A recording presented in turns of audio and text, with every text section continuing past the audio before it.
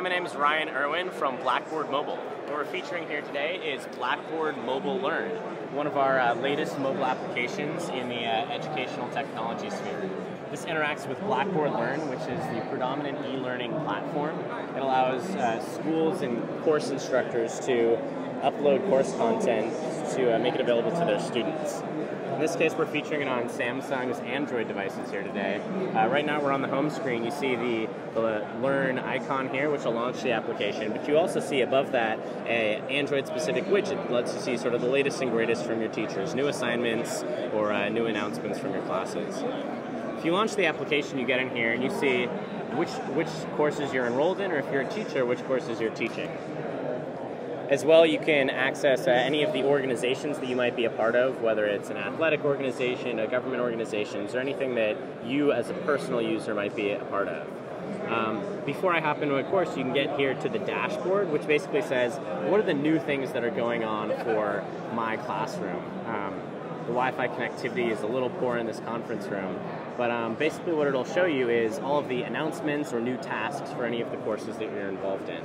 I just hopped into the uh, Fundamentals of Biology course map here. In addition to being able to say general course info and the people that are involved in that course, I can actually get into the content as well. That might be announcements that are uh, the latest uh, announcements posted by my teacher or TAs about new grades that are posted or tests that I just took.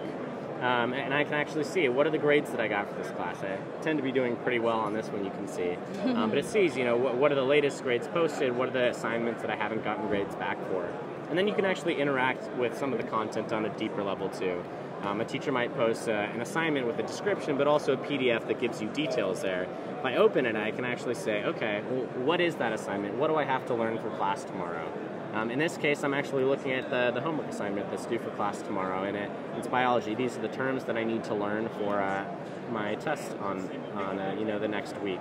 Um, similarly, if you might have a PowerPoint presentation that you need that you want to look at for your final project or for a lecture that you missed, you can actually see it here on your device. You can interact with it um, as a, as a PDF, uh, as a PowerPoint, documents, um, and really get to it from your mobile device in a way that's as intuitive as possible for the device that you're working on.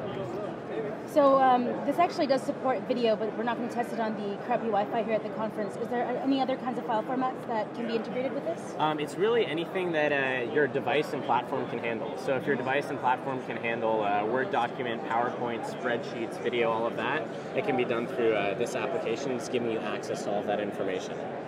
Perfect, thank you. And currently, where is it available? It's available online for free for any students. Um, if your school turns it on, you can use it for free. It's on the Android Marketplace, the iPhone App Store for iPhone, iPod Touch, and iPad, as well as the Blackboard app. And are you currently rolled out in, in any schools right now? Uh, we're actually rolled out in a lot of schools. You can check online, blackboard.com slash mobile to see if your school has turned it on. Um, and uh, hopefully they will soon.